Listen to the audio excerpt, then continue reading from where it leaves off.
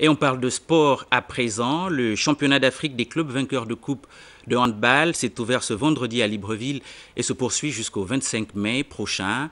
Comme il est de tradition, la Super Coupe Babacar Sall, qui précède ce championnat, a opposé chez les dames Petro Atlético de Luanda au Primero de Acosto et chez les hommes l'Espérance sportive de Tunis au club africain. Frédéric Nancy Pagnin pour le compte rendu. Une super coupe à forte intensité, le public Libreville s'est régalé au gymnase du Britannique militaire lors du duel angolais entre le multititré Petro Atlético et Primero de Agosto.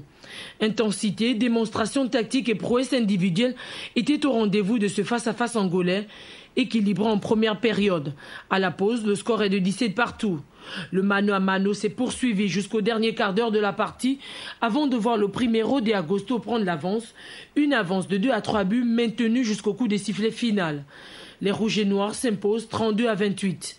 Après le championnat d'Afrique des clubs champions, Primero d'Agosto réussit encore un grand coup devant son traditionnel rival. J'ai un peu de la chance pour, euh, jouer cet euh, grand tournoi et de remporter la Coupe d'Afrique que j'ai jamais remportée. Pour moi, pour moi, ça me fait très plaisir. Chez les messieurs, le derby tunisien a tourné à l'avantage du club africain. Les clubistes ont confirmé leur statut de favori devant leurs rivaux les espérantistes, dominés en première période 12 à 6.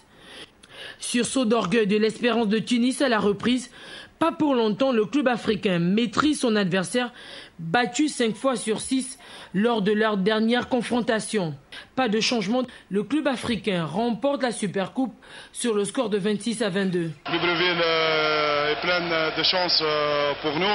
On est arrivé là pour tout confirmer parce que la Supercoupe c'est le, dream de chaque, euh, chaque équipe. En fait, Hamdoul qu'on qu'on a eu ce titre qualificatif pour le Qatar.